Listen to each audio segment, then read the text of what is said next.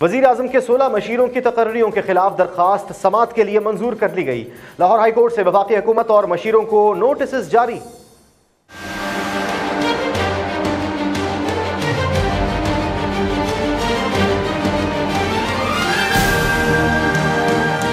Chief justice Lahore high court justice Mohammad Qasim Khan ने advocate Nadeem server की दरखास्त पर समात की, जिसमें मुशीरों की तकर्री और मुआवनीन की तैनाती को चैलेंज किया गया। दरखास्त गुजार के वकील ने दलाइल दिए कि आइन के आर्टिकल ए के तहत गैर मुंतखब शख्स रियासत के अख्तियार का इस्तेमाल नहीं कर सकता, जबकि दोहरी शहरीत के हामिल वज़ीर आज़म की मुशीरान खास रियासत पाकिस्तान के लिए सिक्योरिटी रिस्क है, लिहाजा मुशीरान को अहदों से हटाकर काम ऐसी रोका जाए।